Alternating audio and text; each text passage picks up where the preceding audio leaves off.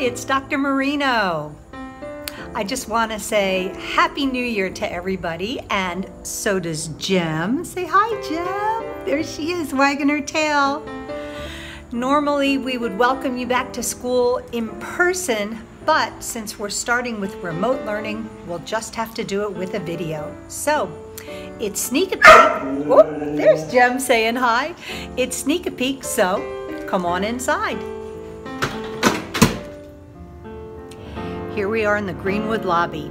It's one of my favorite places at Greenwood because it's where I get to say good morning to all the kids when we start the school day. So here we are in the office. This is where I make announcements.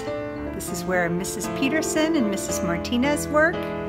And this is where Jem spends her day when she comes to Greenwood. Oh, there she is saying hi again.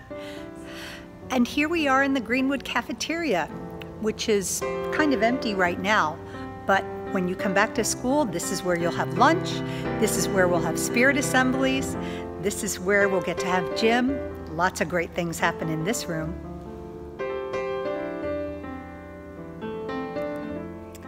You guessed it, I'm in the Greenwood Library, one of my favorite places here at school. Can you guess where I am now? I'll give you a hint. That's right, I'm in the music room.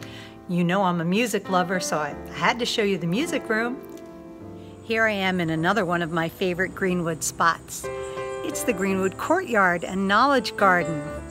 Lots of flowers are in bloom right now. It's really nice out here. And here I am on the Greenwood Playground. It's pretty empty right now. I can't wait until it's filled with kids again. So now you've had a chance to see some of my favorite places at Greenwood. Hopefully we'll all be back together soon so that you can discover what your favorite places at Greenwood are.